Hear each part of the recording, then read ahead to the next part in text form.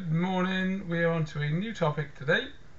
Okay, and it's solving equations, which you've done a little bit of before.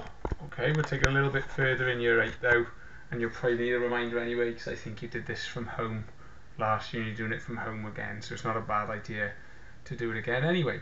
So if you put a head in solving equations, uh, I've got some notes and obviously all the questions I do you can do as examples.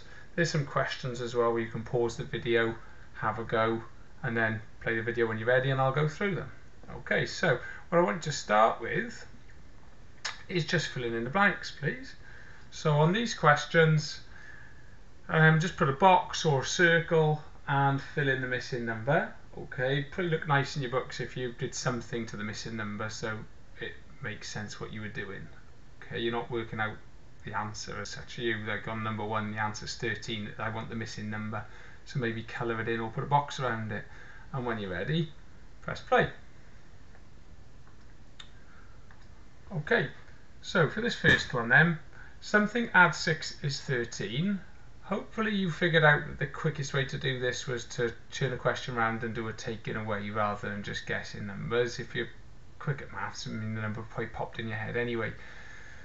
But 13 take away 6 is 7, so you have 7 in the first one. Something take away 3 is 8. Okay, so the number is obviously bigger than 8. Is 3 bigger than 8? 8 add 3 is 11. Again, it's working backwards. Okay, the question says take away 3, but to work out the missing number, you add 3. Something divided by 3 is 21. Oh, sorry, something times 3 is 21. So you need to do your 3 times table. How many 3s are in 21 is 7. So what you've just done there is 21 divided by 3. Okay, so 7. Something divided by 5 is 6, so it must be quite a big number, because when you divide it by 5 the answer is 6. So the best thing to do is to swap it around and do the opposite. So 6 times 5 is 30. Something take away 7 is 2, so it must be quite a big number, because when you take away 7 you're still left with 2. So 2 add 7, swap it around to the opposite, is 9. Something times 8 is 32. So swap it around to the opposite. 32 divided by 8 is 4. Something divided by 3 is 8. So if you swap around to the opposite, 8 times 3 is 24. Something add 6 is 7. So it must be a small number because when you add 6 to it you get to 7. Swap it around and do 7, take away 6 and it's 1. 1 add 6 makes 7. Okay. Now the ones under the line are a little bit different. Um, 6 times something is 36. So you can swap that around and do it by dividing. So 36 divided by 6 is 6. Or if you know your times tables, that's easy. Okay. 7 add something is 15. So again, you can swap that around and do 15 take away 7 is 8. These ones are a bit different, these last two. They don't quite work the same as the others. 14 take away something is 11. So the easiest way to do that is to do 14 take away 11. So swap them places and you end up with 3 there. And 42 divided by something is 7. Well, to work that out, you can do 42 divided by 7 is something. Okay, and the answer in there should be 6 okay? But those last two particularly they don't necessarily match the pattern of the ones above. Where the general rule I was following was that I just worked in reverse okay? Now if you manage to work those out you've solved equations because what I would have done if they were equations I would have written that x add 6 is 13 x take away 3 is 8 I wouldn't have written x times 3 I would have written 3x because that's how we show times in an algebra. 3x equals 21. This one, I wouldn't have written a divide sign because it's dividing, we would have written a fraction. So x over 5 equals 6, but that's exactly the same question and the answer would be 30. x take away 7 is 2. Again, there's no time sign in algebra, so instead of writing x times 8, we would write 8x, but it means x times 8. x divided by 3 as an equation would be written like that. Okay. x add 6 equals 7. 6 times x, so 6x, because there's no time sign, you stick them together, equals 36. 7 add x equals 15. 14 take away x is 11. And 42 over x equals 7. So really, you've solved equations, because in an equation, all we do is where we've got a missing number, we put a letter most of the time it's X, but it can be any letter from the alphabet, okay? But we tend to stick with X and Y a lot of the time, okay? But that's all an equation is, okay? It's um, a partially done calculation with a missing number. The missing number, we put a letter there for now, and your job is to work out that missing letter, just like your job was to fill in the missing number in the box, okay? So nothing to be afraid of. All you've got to be careful with algebra is how you write it down, Okay, so let's move on to the next slide then. So side heading one-step equations. And a one-step equation is the easiest type of all because in a one-step equation there's only been one operation. So adding, subtracting, multiplying, dividing, we've only done one thing. And because we've only done one thing, you've only got to do one thing to solve it okay but the key here is to work backwards and do the reverse do the opposite okay so if in the question is adding to work it out you'll need to do some taking away if the question has got multiplying to work it out you'll have to do the opposite and do dividing just like on the missing number questions a minute ago okay and it relates to number machines which you would have done in year 5 and year 6 okay where when you work through backwards through a number machine when you've got the output and you want the input and you go backwards through the machine, you always do the opposite. Okay, and I'll draw some number machines later on when we get to some of them because it'll make it easier to explain. But in green there, look, you must write your workings out properly line by line. In algebra, we're really, really fussy of how you write your answers. Okay, so let's have a look at a really simple question then. x plus 2 equals 11. So some number, add 2, makes 11. To work it out, you've got to do the opposite. 11 take away 2. And the answer is 9, so the missing number is 9. But how do we write that down? Because we've got to show our workings. So, to work it out, we did 11 take away 2. So what we do on the next line, look, we say that x equals, and that plus 2 on the left-hand side, when we do the opposite, it goes over, Okay, so what you can do if you like, you can put a circle, you don't have to do this. And we can say when it goes the other side, it does the opposite, so 11 take away 2. Okay, now you don't put your answer in here, because in algebra you're not supposed to have two equals on the same line.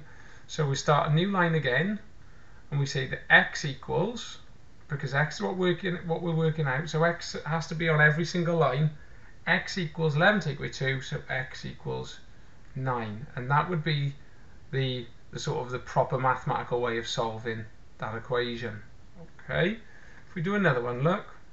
X take away 5 equals 7 first of all what is the opposite of taking away 5 it's adding 5 so x equals 7 add 5 and then to write our answer we go to next line. So x equals 12 Alright, now what I tend to see a lot of on these questions, so if I redo that one but badly, this is what people will do. x take away 5 equals 7, 7 add 5 equals 12. Okay, all on one row. They've got the 12 in there, but mathematically that's really bad and in an exam you'd lose marks for writing it out like that. Okay, even though you've done the right steps and you've got the right answer, it's not following a proper algebraic method. So you've got to go down the page line by line, never having two equals on the same row. Okay. If you want to write something new, if you want to, if you want to do the next bit, you must start a new line underneath. Okay. So opposite of adding is taken away, the opposite of taken away is adding. Let's have a look at a times in one. Now remember in times in there is no time sign. So if I want to say that I've times by 3, I would write that. So 3 times x, so 3 times something equals 18. 3 times something. If I'm timesing in the question, the opposite of timesing is dividing. Okay, so the opposite of timesing by 3 is dividing by 3.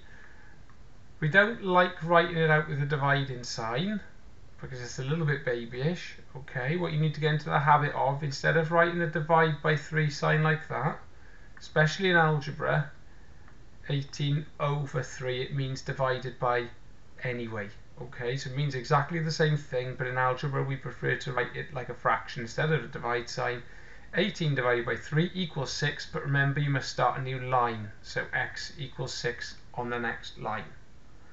Okay, we'll do a couple more, just to get you into the habit of how to write them down, and then you can do a few on your own. So let's do a dividing one this time. These are all one step, I'm only doing one thing. Something divided by 4 equals 7.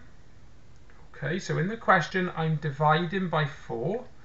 The opposite of dividing by 4 is to times by 4. So on the other side, x equals 7 times 4.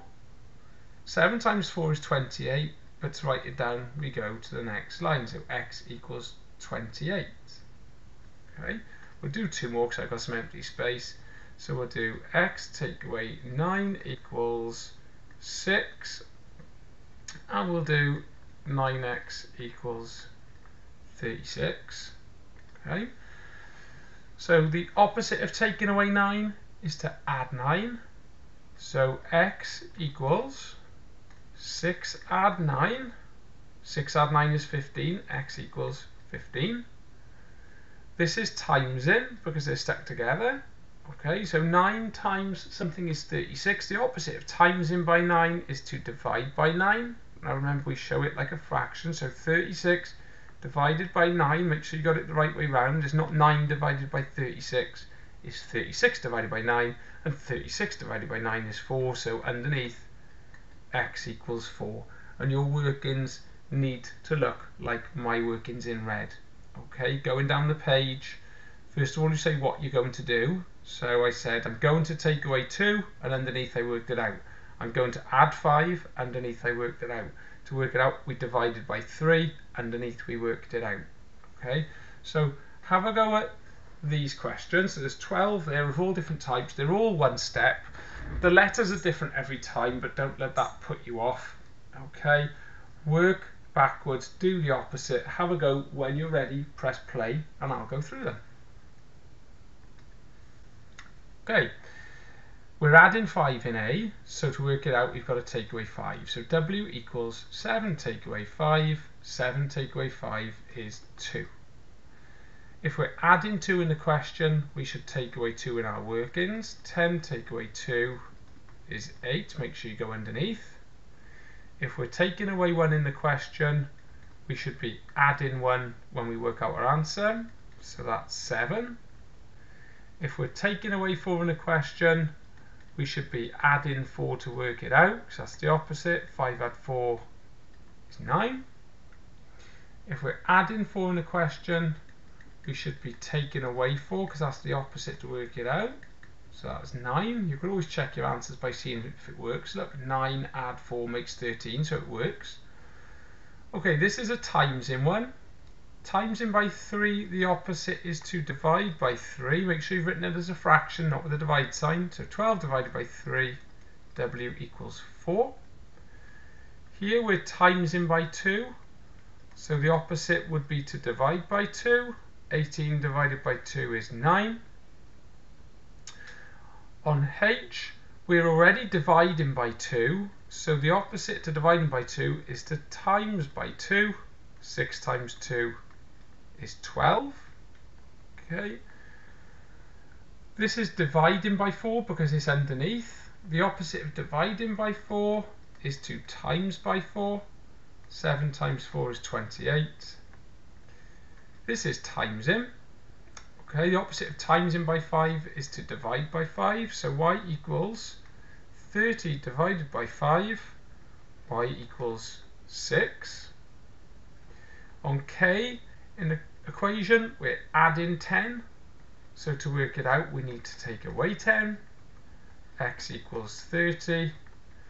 On an L, we're timesing by 2 in the question, so we must divide by 2 in the answer. 34 divided by 2, x equals 17. Now if we were in school, I'd come round and check that you've written them all out properly. Okay, because if you're lazy and you don't write your equations and your algebra out properly, when they get harder, you're going to find it really difficult.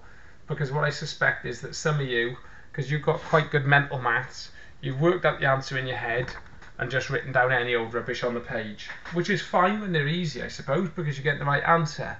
But when they get harder, you're going to struggle because you don't know what to write down. Whereas the people who've been writing it down properly the whole time will just carry on writing down properly and get the correct answers even when they get harder. Okay, so that's one step equations. Now we go on to two step. Okay, so put aside heading two step. And the only difference now is that I'm going to do two different things in the question. And so you're going to have to do two different things to work out the answer. Okay.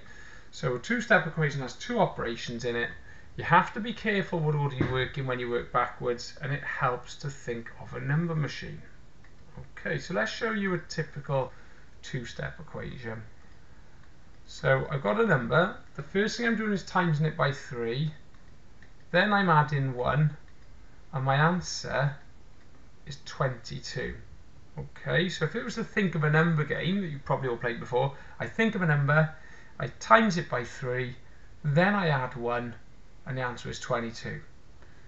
Right, so if it was a number machine, it would look like this. So I start with my missing number, my input, which is x. I times it by 3, then I add 1, and the answer, the output, is 22. And when you work backwards through a number machine, okay, you work in reverse and you do the opposite. So the first thing we would need to do is to take away 1. After we've taken away 1, the next thing to do would be to divide by 3. And that should get us back to the input. Okay, so that's exactly what we're going to do here. But it's important that we take away 1 first because we added 1 last. And we're working backwards, remember. Okay, so how would this look on the page? when it's an equation. So if you like to put circles around and move things, let's put a circle around that plus 1. The opposite of adding 1 is to take away 1. But be careful because we don't write that x equals 22 take away 1. We've still got this 3 by here. So 3x equals 22 take away 1. Okay, we haven't done anything with the 3 yet. We will do in a minute, but not yet. So 3x equals 22 take away 1. Then we work out what 22 take away 1 is. So that's 21. Okay, we're still not finished because we've still got the 3, haven't we, by here. We haven't done anything with yet. We've done this bit. We've taken away 1. Now we've got to do this bit. We've got to divide by 3. So the opposite times in by 3 is to divide by 3. Remember, we write it as a fraction. And now the 3 has gone from in front of there because we've moved it and we're dividing. Okay, so now you can get rid of the 3 because it's gone down there. And 21 divided by 3 is 7. Okay, if we could do another one, we get rid of this. Let's write a question. So we'll have 5x take away 2 equals 38. So I've times by 5, then I took away 2, so times 5, take away 2, 38. This is my number machine. So if I'm working backwards, first I've got to do the opposite of taking away 2, which is adding 2. Then I've got to do the opposite of timesing by 5, which is dividing by 5. Okay, so make sure you get your order right. So first job is to add 2. So 5x on the left equals 38 add 2 on the right and 38 add 2 is 40 but you must go to the next line and write that down okay the opposite of times in by 5 is dividing by 5 written like a fraction and 40 divided by 5 is 8 and the nice thing about solving equations is once you start writing them out properly they do all look the same and follow the same pattern so if I get rid of that Let's do another one without a number machine. Look, 3x plus 5 equals 23. So the first thing we do is get rid of the plus 5. The opposite of adding 5 is to take away 5. So 3x equals 23 take away 5. 23 take away 5 is 18 on the next line. Now I get rid of the 3 by doing some dividing. 18 divided by 3, x equals 6. Okay, so that's a fairly standard two-step equation. You might get ones like this as well. So on this one, let's have a look. So what have I done this time? So I started with x, my missing number, which on a number machine would be the input. The first thing I did here was I divided by 3. Then we added 2, and the answer came out as 9, which would be the output on a number machine. So working backwards, the opposite of adding 2 is taking away 2. The opposite of dividing by 3 is timesing by 3. So let's write this down then. So first thing to do is to take away 2. So x over 3, remember that stays the same because we haven't done anything with that yet, equals 9 take away 2. x over 3 equals 7 because nine, that's 9 take away 2. Now I'm ready to change that dividing by 3 to a times 3. 7 times 3, we're on this bit here, look. 7 times 3 equals 21. Okay. Now, when I say you've got to be careful with your order, if I do this question, now this time, because the plus 2 is part of the fraction, it means that I added 2 before I did the dividing. Okay, so uh, then we did the divide by 3, didn't we? Output there, look. So by putting the plus 2 in the fraction, what's happened is, look, whereas before we divided by 3, then added 2, I've added 2 first and then divided by 3. So that's where you've got to be really careful of what order things were done in. So this time we're going to have to times by 3 first. Okay, so the 3 moves first this time. So x add 2 equals 9 times 3. x add 2 equals 27. Then I take away 2. 27, take away 2. 25. Totally different answer. Okay and it all depends on what order we did things in. Okay, if the plus 2 is part of the fraction, it means the plus 2 was done first. If the plus 2 was written afterwards, it means it was done last. And if it was done last in the question, it means that you do the opposite first when you're working out the answer. Okay, and then you can have a go at these. And when you're ready, press play. Okay, first thing to do on number one is 9 take away 3, which is 6. And then 6 divided by 2 is 3. On B, first thing you need to do is to add 1. So 14 add 1, leave the 3w alone for a minute. So 14 add 1 is 15. Make sure you start a new line every time. 15 divided by 3 is 5. First thing to do is get rid of the add 2. So 30 take away 2 is 28. Then we can divide by 7, which is 4. On D, the first thing to do is to take away 20. 35 take away 20, which is 15. So 5x equals 15.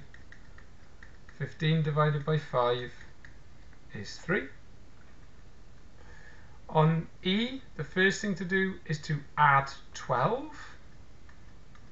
So 48 add 12, which is 60. Start new line. Now we can divide by 6, which is 10.